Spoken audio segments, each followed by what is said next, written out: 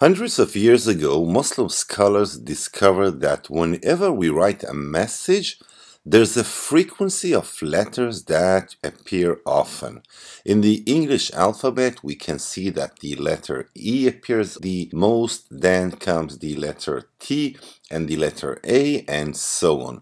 So for our next script, we will actually create a frequency analyzer. We will input some text, and then we will look at specific characters and see how many times do they appear in our text. Alright, so we will start with a function. Our function will be called uh, frequency. So let's just um, define a function and the next thing that we will do is to define a variable with a value of 0.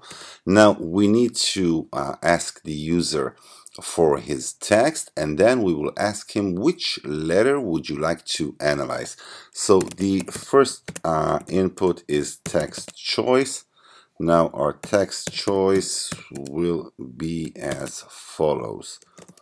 Uh, write down your message.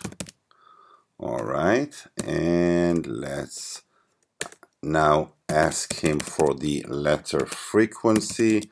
So this will be uh, which letter would you like to analyze?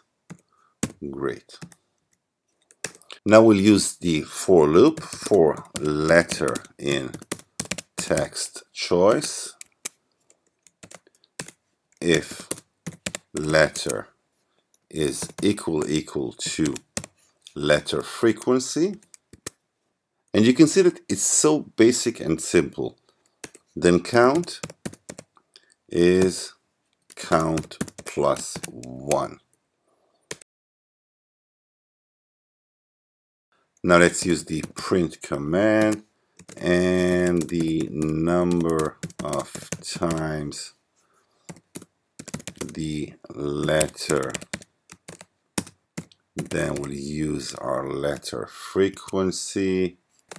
Repeats is and count. Count is the variable that actually counts the number of times.